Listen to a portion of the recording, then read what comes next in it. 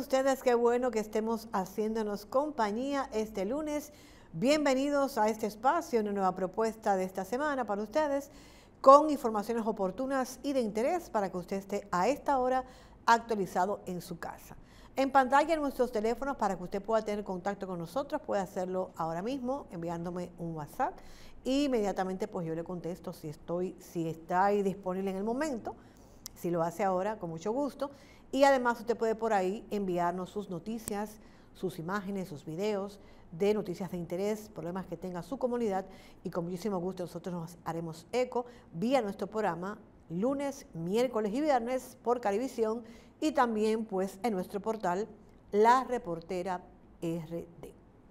Miren, eh, voy a hablar, voy a comenzar hablando de dengue porque sigue siendo el gran tema de interés y hay muchas cosas nuevas que surgieron en los últimos dos días con respecto al dengue. El presidente de la República, en su ah, encuentro con la prensa, con periodistas los lunes en la Casa de Gobierno, eh, una novedad de este gobierno, ideado por Homero Figueroa, que es el director de estrategia, eh, ha puesto en marcha esta, esta reunión del presidente con los periodistas que son invitados previamente, que pertenecen a diferentes medios, y siempre hay un tema central, aunque eh, no sé cómo, cómo manejan el protocolo, pero ahí los periodistas después terminan preguntando lo que quieren.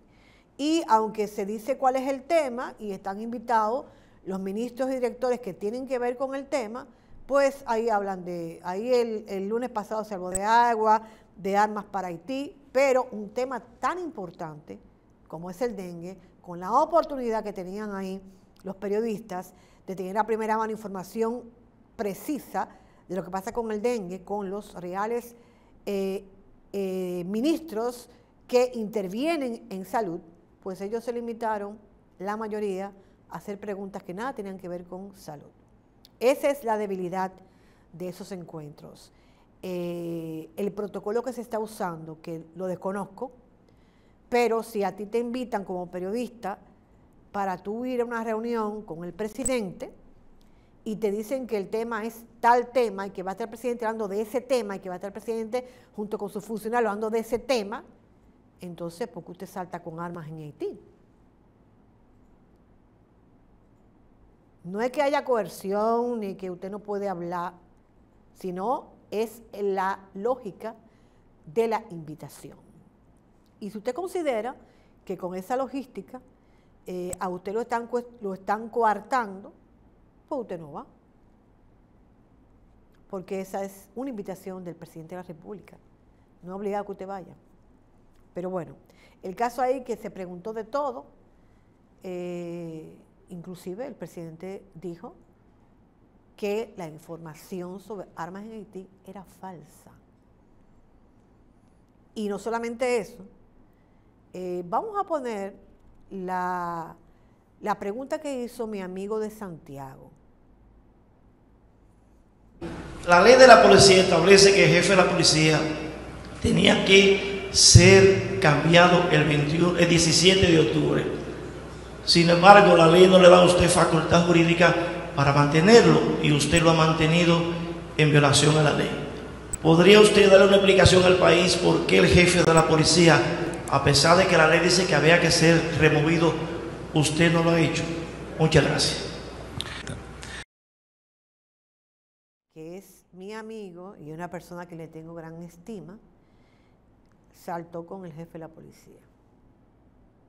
Yo no, o sea, no estoy diciendo que wow, tú estás diciendo que cuarta libertad de los periodistas. No estoy diciendo eso. Estoy diciendo que la invitación del Palacio es con el Gabinete de Salud y con el presidente, porque va a hablar de salud y va a responder noticias de salud. Ok, no quiero hablar de salud, no me interesa, pues no le voy a, la actividad. Y rechazo la invitación. Yo lo veo de esa forma. Entonces ahí el presidente le contestó que en varios días tendrá una respuesta. Yo vi como la pregunta, y me, perdona mi amigo de Santiago, le pido mil disculpas, pero como que esa pregunta como que yo la veo como, no sé, como fuera de lugar, como fuera de contexto. Porque el presidente ha dicho varias veces eso, sí, ya sabemos que está pasado de tiempo, y estamos, pero, pero bueno, que el escenario como que no era para eso. No sé, si estoy equivocada, pero creo que hay un, un protocolo para esas actividades y, quiero y me gustaría que las revisaran. Tanto eh, Homero Figueroa, que es el creador de esto, que me parece una excelente idea, pero creo que hay que ajustar algunas cositas. Hay que ajustar algunas cositas, porque veo periodistas eh, que van a todos los lunes. Eh, no sé, veo que hay que ajustar algunas cosas para que tenga el éxito que se busca, porque puede ser exitoso, pero hay algo ahí que no está funcionando bien, a mi entender. Sobre que no hay agua en Santiago, que también esa pregunta la hizo Esteban, eh, la Corporación de Conducto y Alcantarillado informó que todos los sistemas de distribución de agua potable están funcionando a plena capacidad. Pero en ese escenario el presidente me respondió a él diciéndole que en Santiago hay agua, que todas las, las, tuberías fueron cambiadas, que puede ser que un sector no tenga agua por una, por una situación específica, pero Santiago se ha invertido una buena cantidad de dinero para cambiar las tuberías viejas, obsoletas y dañadas que encontró esta gestión. Eh, el director de operaciones de Corazán, que fue el que habló de eso, informó que en el último mes varios factores puntuales han afectado el suministro de agua en la zona y ha afectado a solamente algunos barrios de Santiago, pero que en términos generales en Santiago hay agua.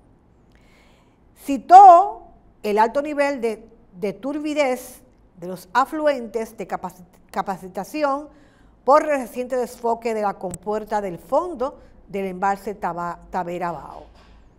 Ese fue uno de, los, de, las excusas que hay para decir que hay en algunos sectores hubo escasez de agua la semana pasada. Ok. Eh, el presidente también se refirió ahí sobre eh, un informe, un supuesto informe de la ONU que una periodista de El Diario eh, hizo en esa reunión del lunes. Y se refirió a las armas que llegan a Haití desde RD. En ese escenario, el presidente desmintió esa información y dijo que era totalmente falso. Eh, dijo que el presidente incluso habló después de, la, de que la Agencia Internacional de Noticias F y otros medios hayan publicado un artículo sobre el tráfico de armas en Haití. No es cierto. Puede que haya alguna información que haya venido y no es eso. Nosotros tenemos informes, además, de inteligencia y eso sí es cierto, ni, y, eso ni es cierto ni es lógico, dijo el presidente. Ahí, en ese mismo escenario. Las armas que posee el país, dijo el presidente, son siete veces más caras que las que de las de Haití. No es lógico traer armas aquí y llevar armas sería un mal negocio. O sea que ahí en ese escenario se produjeron, y, digo dos informaciones erróneas, por decir dos, porque fueron las que publicó el listín diario, pero pudo haber cada semana como que pasa lo mismo con las informaciones, como que van a preguntar cosas que tú que no tienen ni, ni, ni, no tienen ningún sentido. Entonces, para que eso sea exitoso y para que continúe con éxito, hay que ajustar algunos procedimientos, eso digo yo. Yo recuerdo eh, las ruedas de prensa que hacía el presidente Balaguer en las inauguraciones. Eh, y yo recuerdo que siempre todo era por, por tema. O sea, si estábamos en, en un pueblo inaugurando un acueducto, había que preguntar sobre ese acueducto. Para hablar con el presidente de otros temas, que él lo hacía, había que abordarlo ya fuera de la actividad. Y muchas veces también hablaba. Yo no quiero decir para que no vayan a malinterpretar nadie. Yo no quiero decir que haya manipulación con esa actividad, ese encuentro que se hace los lunes. Yo lo que quiero decir es que se establezca un protocolo que permita que las informaciones que se van a dar en ese escenario, que son de primera, se tumben, caigan, porque un periodista o otro periodista lleva con un as bajo la manga de una pregunta fuera de contexto y que muchas veces es y ha sido manejada. Sin quererme referir ahora a ninguno de esos dos periodistas, de esos dos temas, para que después no vayan a decir que yo dije. ¿Eh? Yo hablo en asuntos, en asuntos general de esa actividad.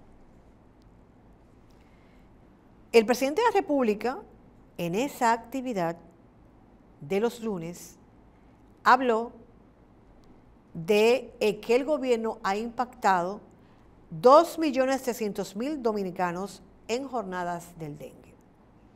Durante el operativo se intervinieron 226 sectores y se eliminaron 40.109 criaderos de mosquitos en toda la región.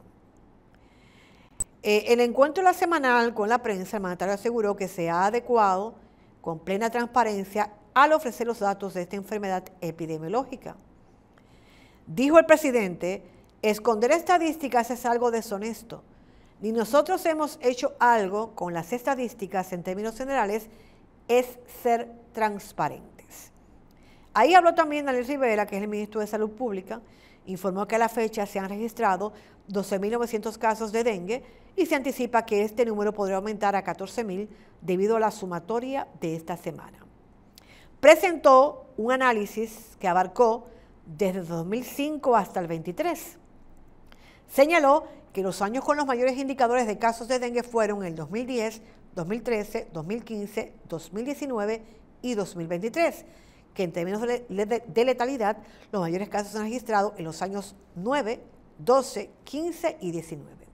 Estamos hablando de que en, los gobiernos del presidente, del gobierno del gobierno, en los gobiernos del PLD, dicen las estadísticas, porque no lo estoy diciendo yo, en los gobiernos del PLD, 2010, 13, 15 y 19 fueron los casos más altos de dengue en el país, más altos que el 23. Eso lo digo para los peledeístas que están vueltos locos diciendo que este país, el dengue está matando gente, que está que está, que, que, y que la, el, no, no, no, no, no. Las estadísticas dicen que desde el 10, pasando por el 13, 15 y 19, fueron donde se registraron los mayores casos de muertes y casos de dengue. Eso anótelo ahí para que no hable mucho disparate. Eh, con respecto a los operativos realizados, intervinieron 226 sectores con un impacto de 2.364.998 personas, 2 millones, y se eliminaron 40.109 criaderos.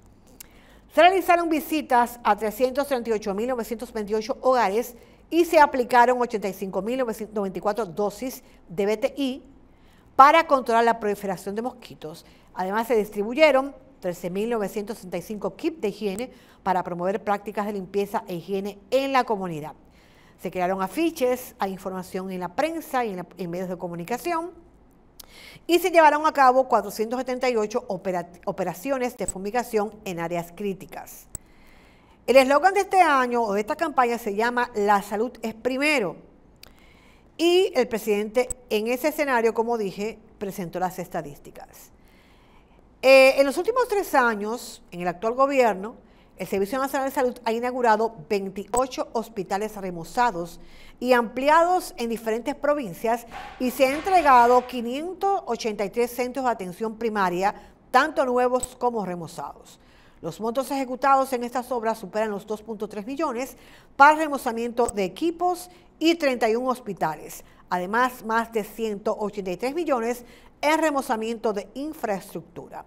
A esto se suman hospitales aún en proceso, ubicados en Dajabón, Restauración, Villa Vázquez, San José de las Matas y Nesibón. Eh, mientras que otros 10 hospitales han sido entregados y aún están bajo intervención de salud pública. Estamos hablando del municipio de Boca Chica, docente Padre Villini, eh, la ciudad sanitaria Luis Eduardo Aibar y el Centro Clínico y de Diagnóstico Atención Primaria de, la, de Juan Bosch. Eh, una cosa, ese video es de, dengue. Vamos a ver algunas de las informaciones que da el presidente, que dio el presidente en, el lunes en la reunión con los periodistas para que usted lo tenga de primera mano. Digo que se adjudicó hace un mes 10 unidades de pie diabético distribuidos también en todo el territorio nacional y 10 unidades de hemodiálisis. Todavía en muchos municipios cabeceras del país no habían sistema de diálisis y tenían que desplazarse a otros municipios. Imagínense ustedes a personas que a veces tenían hasta tres veces a la semana que hacerse un sistema de diálisis.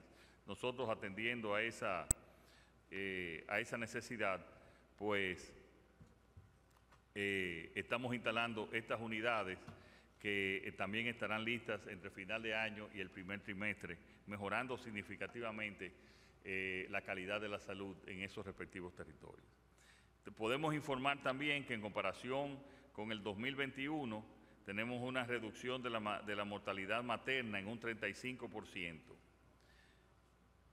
Y en términos de la salud dental, hemos hecho mil, eh, 1.500.000 personas hemos atendido eh, en términos de salud mental, con 684 unidades dentales entregadas en centros de salud, 251 áreas de odontología remozadas y 126 nuevas áreas de odontología habilitadas. Es bueno señalar también que nosotros hicimos una descentralización del Ministerio de Salud, donde eh, ya la unidad odontológica es una unidad descentralizada y que va a tener un mayor presupuesto considerable a partir del próximo año. En términos del cuidado neonatal, eh, hemos eh, instalado 14 unidades de diagnóstico de patologías cardíacas en recién nacidos, 7 nuevas unidades de cuidados intensivos neonatales. Y quiero decir que una de, las, de, nuestros objetivos es crear, y que, se ha evidenciado con, el dengue, eh, las unidades de las UCI pediátricas, que evidentemente hay una falta en, en el país. Eh, y dentro de nuestros planes también, ya en diseño, está tener una unidad de cuidados intensivos pediátricas en, Asua y eh, tenemos planes para hacerlo también en eh, Puerto Plata. En Asua en el sur, en Puerto Plata. Se me escapó también que el primera, la, primera unidad de tratamiento traumatológico del sur le estamos construyendo también adjunto al hospital eh, Taiwán, en Asua, que estará listo en el segundo semestre del próximo año. La primera unidad traumatológica. Esos señores eh, esperamos que salven muchas vidas para que puedan llegar y estabilizarse los pacientes de los accidentes en el sur. De los hospitales entregados, eh, es bueno señalar que cuando son remozamientos o ampliaciones, lo hace el Servicio Nacional de Salud, cuando son hospitales nuevos, según también la ley del MIBET, lo construye como cualquier institución pública, edificación pública, lo construye el MIBET. Dentro de eso ya hemos entregado desde el Hospital Municipal de Boca Chica, el docente Padre Villini, la ciudad sanitaria, doctor Luis Eduardo Ibar, nos quedan tres unidades de la ciudad sanitaria, dos de las cuales se van a entregar a final de año, no se han hecho antes por una cantidad enorme de problemas legales que habían con los contratistas originales eh, y que te estamos tratando de salvar y de, mejorar. Y el centro quirúrgico, lo vamos, que ya eso costaría 1.200 millones de pesos más eh, en el Luis Eduardo Ibar, pues lo iniciaré para terminarlo eh, en una licitación extra que empezará a final de, este año o principio del próximo año. También un hospital sumamente importante y que yo le, he dicho a Mario que por favor que lleve a, los comunicadores eh, de todo el país es que vayan a ver el Hospital General eh, Mario Tolentino Dip, que, lo terminamos. Es un hospital de primer nivel, es un hospital, eh, digo, es un hospital de tercer nivel, pero es un hospital de primera calidad, de primera calidad con los equipos más modernos. No creo que haya un hospital público o privado de mejor condiciones que ese hospital y que viene a ser también el segundo hospital general de la provincia de Santo Domingo. También el hospital en San Pedro de Macorís, el doctor Alejo Martínez, el, el hospital regional Musa de San Pedro, eh, lo está construyendo el, el MIBET terminará cuándo, Carlos? Sí. Vamos a entregar unos quirófanos y, unas áreas que ya hemos entregado áreas, eh, algunas, hemos entregado 35 camas ya del hospital, pero es un hospital en funcionamiento y, vamos a entregar más quirófanos ahora. También entregamos el hospital de Villahermosa, el hospital de Esperanza, el hospital municipal de Verón. El presidente de la República dio una idea ahí. No sé si no me la voy a captar yo. Quienes tienen que captarla es el director de comunicaciones de salud pública.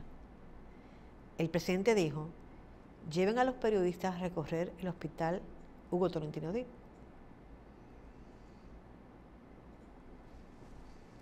Ustedes lo oyeron, ¿verdad?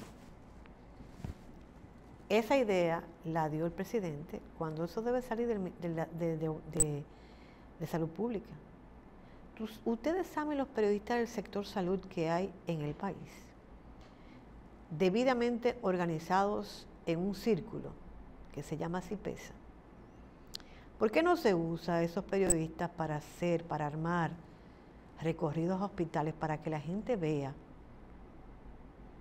cómo el presidente, cómo este gobierno ha remozado los hospitales. La idea del presidente, pero la idea tiene que ser el ministro. O salir de la dirección de comunicaciones del ministro. Pero eso nada más lo voy yo. Pero yo estoy segura que, lo que, en comunicaciones de salud pública no lo oyeron es. Bueno, yo lo voy a escribir, ahorita le escribo y le digo que el presidente dio una idea interesantísima ahí. Sobre el Seguro Nacional de Salud, alcanzó 2.7 millones de nuevos afiliados, superando la proyección de 2 millones, y ya se captaron 6.000 nuevos afiliados de dominicanos residentes en el exterior. Además, se incorporaron 90 ambulancias al servicio del traslado sanitario. Señores, estamos hablando de informaciones sumamente interesantes y oportunas que se dieron ese día, pero lamentablemente lo que más se publicó fueron los del director de la policía, lo que no hay agua en Santiago y lo de las supuestas armas que llegan desde Haití.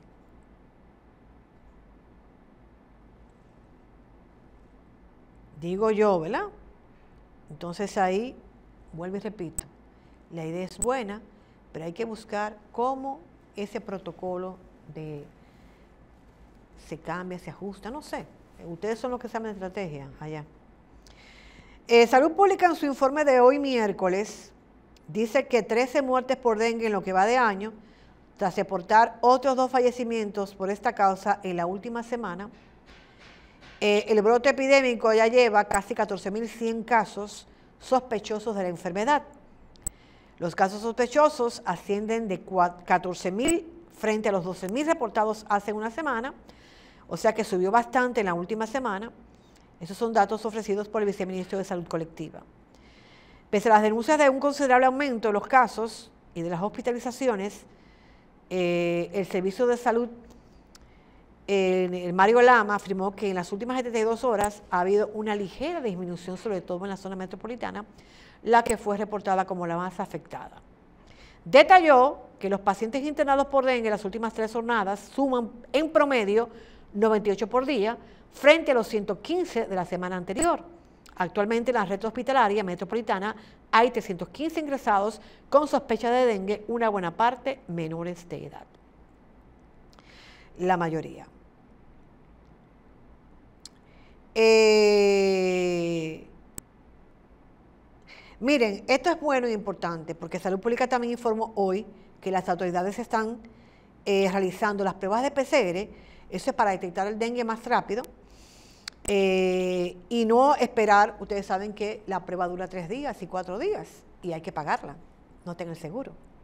Entonces, eso que está haciendo Salud Pública en esta semana, debió haberlo hecho desde semanas atrás, porque hubiese permitido la detención a tiempo de los casos de dengue y evitar que fueran a cuidados intensivos o que tuvieran un desenlace fatal. Este eh, esta información es del Ministerio de Salud Pública. Dice que ha sostenido múltiples reuniones para que los centros hospitalarios se apeguen a los protocolos de la metodología diagnosticada. Incluso Salud Pública facilita esas pruebas muy especializadas que se están haciendo de rutina en los principales hospitales del país. Dice el ministro, estamos haciendo el laboratorio nacional Fernando de Filló, está haciendo prueba molecular, lo que se llama PCR, la reacción de cadena de polimerasa, que era la que se hacía con el COVID. Así que a las personas esto va a permitir definitivamente que el paciente sepa más rápido si tenga lo que tiene y sea recibe el tratamiento adecuado y no esperar tres, cuatro días con fiebre y que haya entonces un desenlace.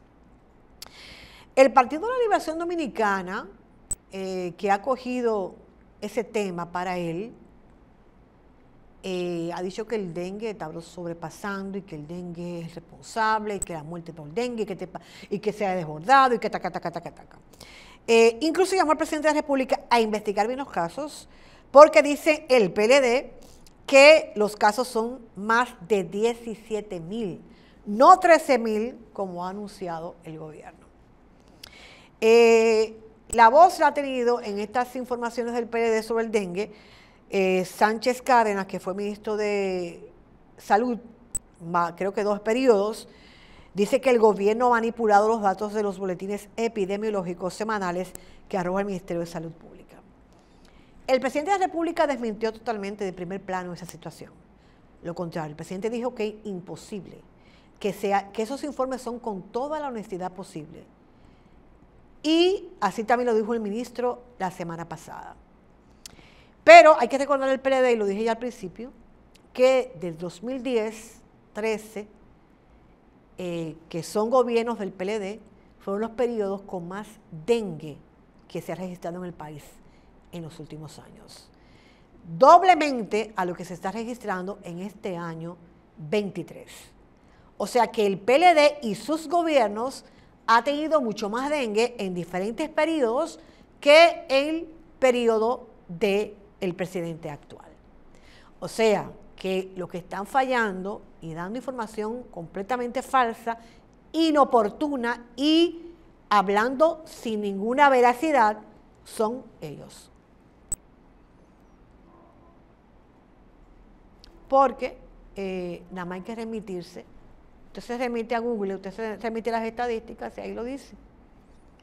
No soy, no soy yo que lo estoy diciendo, no soy yo que lo estoy diciendo, voy a buscar otra, otra vez aquí para leerlo, porque no soy yo que lo estoy diciendo, ¿no?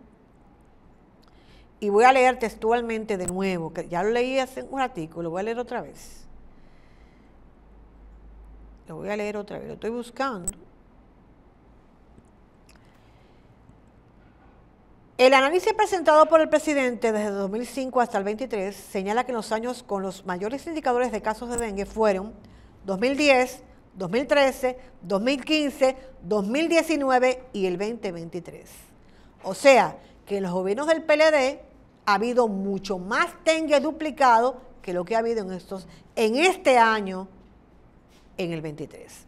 Ahí le dejo esa, esa tarea para los que están hablando de ese caso. Miren, eh, no hay sarampión en el país, pero sí Salud Pública ha dado una alerta eh, por sarampión en el país, creo que fue en el 2001, el último caso de, sarampión, porque el sarampión ya estaba eh, radicalizado. El país había sido declarado libre de la enfermedad en el 2013, sin casos de sarampión desde el 2001. En el país actualmente no hay sarampión. Pero sí hay una alerta de la OMS por la presencia de sarampión en países de América, de América como Canadá, que ya eh, se han reportado ocho casos, Chile, Estados Unidos y otros casos confirmados en diferentes partes.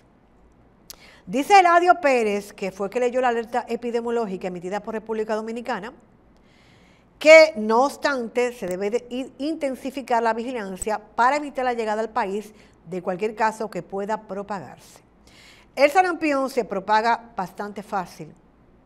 Basta con usted tocar o tocar una gente que tenga sarampión o que esté en proceso de incubarlo.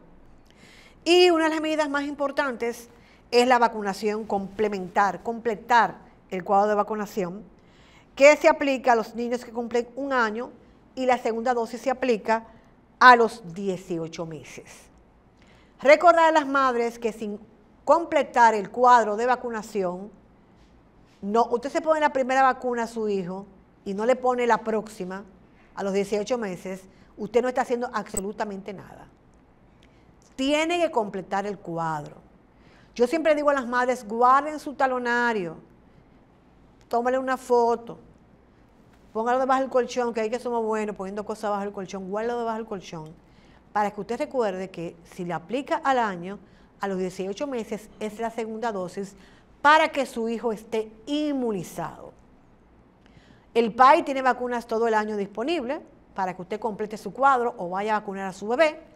Y el Centro de Salud de La Galván también hay vacunas suficientes todo el año para que usted tenga eh, sus vacunas, sus hijos tengan sus vacunas al día. La primera eh, síntomas es la tos, la fiebre, y unos, unas manchitas que pueden ser blancas a rojas y ahí que son contagiosas. Eh, inclusive si usted está en un mismo sitio donde hay aire acondicionado y usted está respirando con una persona que tiene sarampión, usted puede coger sarampión también. Así que vamos a completar el cuadro de vacunación de los bebés para tener eh, a nuestros hijos protegidos, inmunizados. Miren, eh, el asunto de eh, turismo de salud, señores, ha progresado y ha avanzado muchísimo en el país el turismo de salud. Y nosotros que comenzamos a hacer o a pretender que nuestro turismo de salud sea efectivo y tenga la presencia de muchos extranjeros, como otros países, eh, y tenemos la plataforma para que nuestro turismo de salud sea exitoso. Porque en Santiago tenemos hospitales y clínicas que nada tienen que envidiarle a un centro del Caribe. Nada. Son tan avanzados como cualquier centro del Caribe. Y el sistema, el turismo de salud, no solamente tiene que ver eh, con salud propiamente, también está el bienestar. El spa, la gente que quiere eh, hacer yoga, la gente que quiere eh, alejarse por diversas situaciones y busca un lugar especial. O sea, hay muchas formas de salud y bienestar que el país está avanzando muchísimo, porque ese, ese tranque del turismo de salud vino con la pandemia.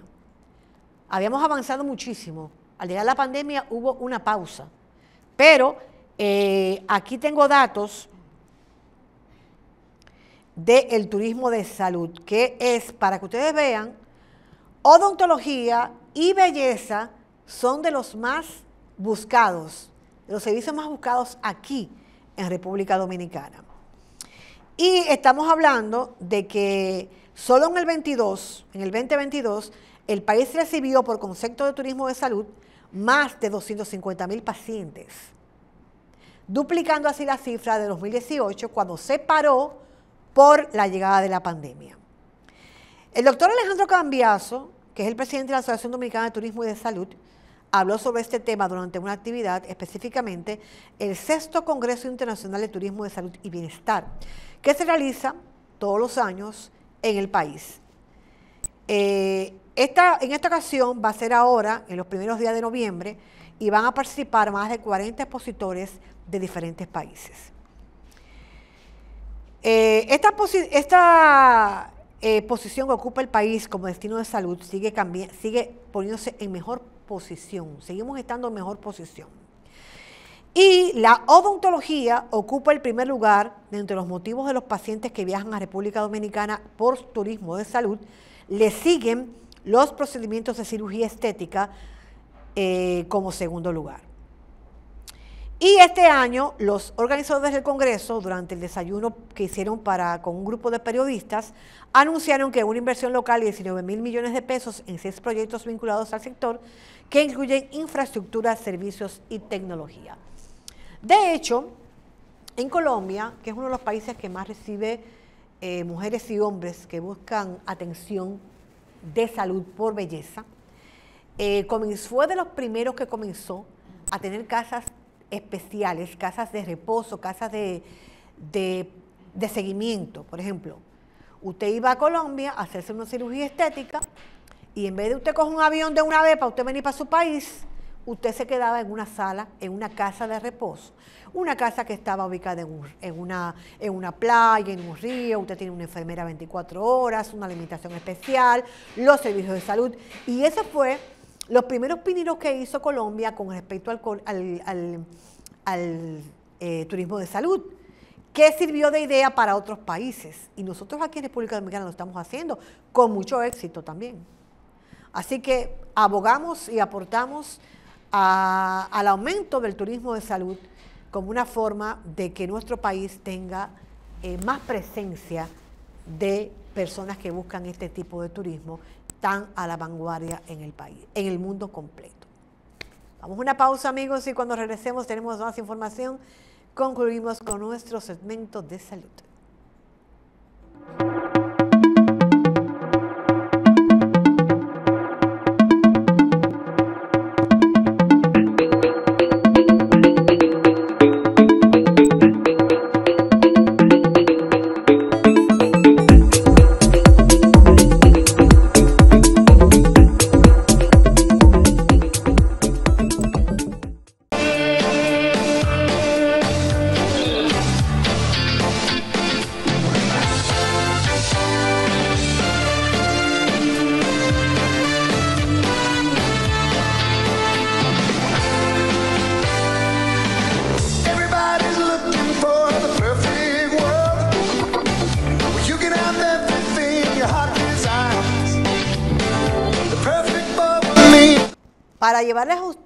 Información de lo último que se está llevando, que me gusta que usted esté actualizado, eh, estamos hablando de que en estos meses se está usando mucho el color rojo, vuelve a ser tendencia el color rojo, y no necesariamente por Navidad, sino porque varias firmas de eh, diseñadores de moda internacional han hecho pasarela con el rojo como color predominante.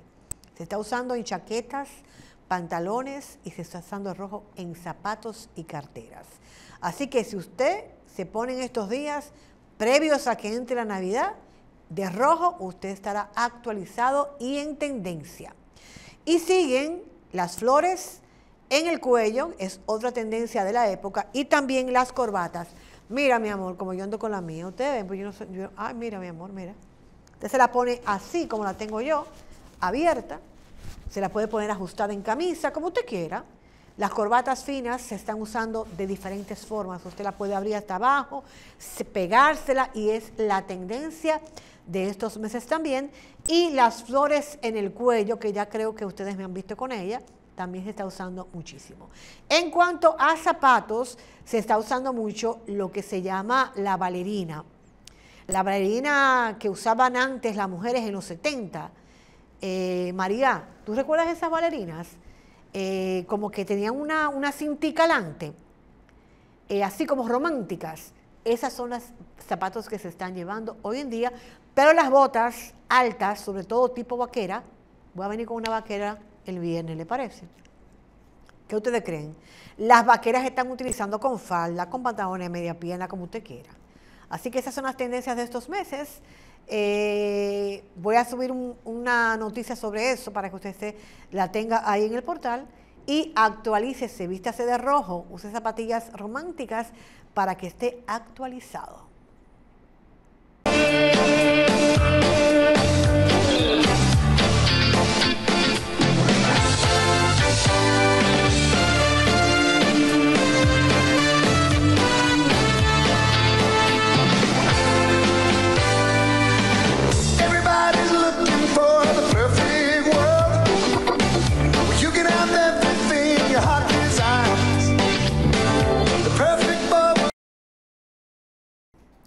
La ministra de la Mujer inauguró una nueva oficina, esta está en la, esta está en la provincia de Matías Sánchez. Ahí estuvo Mayra Jiménez, que es la ministra de la Mujer, inaugurando este centro y busca promover y coordinar las políticas, programas y proyectos que propicien la igualdad y equidad entre hombres y mujeres en el territorio.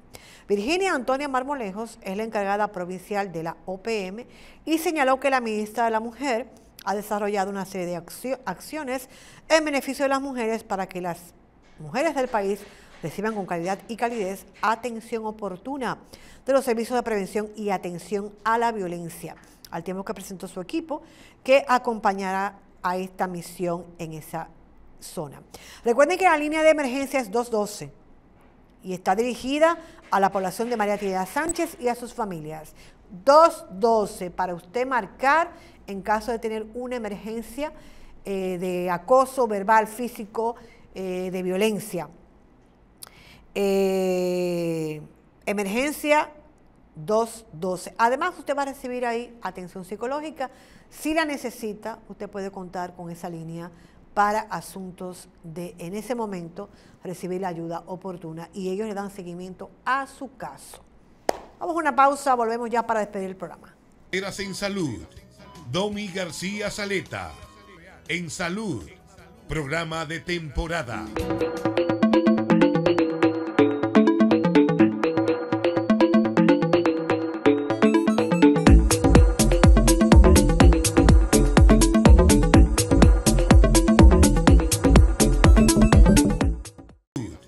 Domi García Saleta.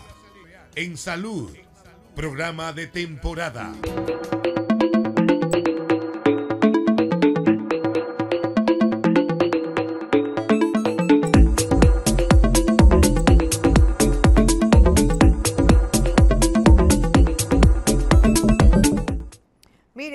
Amigos que siguen con nosotros. Estamos en vivo desde Carivisión. Recordarles que puede tener acceso a nuestro portal, lasreporterasrd.com, con noticias actualizadas sin interés. Las Reporteras RD es nuestro YouTube para que usted tenga información. Todos los programas que producimos usted lo consigue ahí de inmediato. Y nuestros teléfonos aparecen en pantalla para que pueda marcarnos, enviarnos su material, sus videos y sus notas. Y con muchísimo gusto pues nos haremos eco por el programa o por el periódico.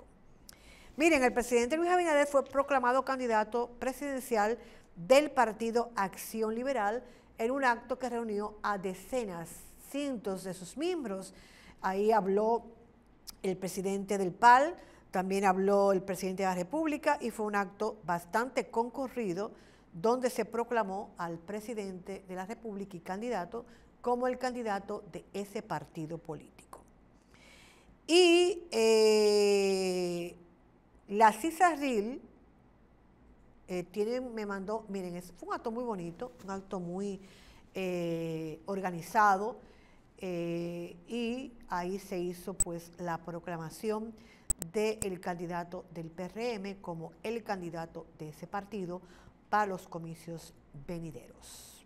Te quería decir, quería decir a los amigos también que la, el IDECOT, no voy a hablar de la CISARRIL, que tengo un videito aquí para compartir con ustedes, eh, no, eh, DOPRIL, que fue el tercer simulacro nacional de evacuación por terremoto que fue organizado por el COE esta semana, bajo las, instrucciones del presidente de la República y los brigadistas y los miembros del Comité Mixto de Seguridad y Salud eh, en el trabajo de, la, de Hidropril movilizaron además unas 300 personas. Eh, estamos hablando de que Fausto López Liz, que es el director ejecutivo, expresó que el Comité Mixto de Seguridad y Salud realiza jornadas permanentes de prevención, educación y señalización para mejorar las áreas de salida de la institución. López Solís destacó que el comportamiento de los presentes en el edificio y el momento de iniciarse el simulacro para que la institución pudiera ejecutar su plan de evacuación. Miren, y recordarles eh, dos cosas, porque ya estamos en los minutos finales, ¿verdad? Recordarles dos cosas. Primero, eh, que ya se está haciendo la, la, prueba de PCR con el caso del dengue para que usted tenga una eh, tenga en su un diagnóstico rápido y seguro, eh, solicítelo a su médico a su emergencia si usted cree que es dengue y además ayude a esta jornada que busca eliminar los criaderos y únase con sus vecinos y familiares a quitar charras de sus patios y jardines. Amigos, les agradezco mucho su compañía de este día y les invito a que esté con nosotros el próximo viernes con un programa similar. Y cierre con este videíto de este vino exquisito y de este tabaco que tuve la oportunidad de gustar y participar en un evento de ellos. noches. Eh, estamos aquí para degustar y catar los vinos y los aceites de alma de mujer, junto con el cigarro alma de mujer. Es un vino con un buen cuerpo, al igual que el cigarro, listo para maridar y disfrutar de los mejores paladares.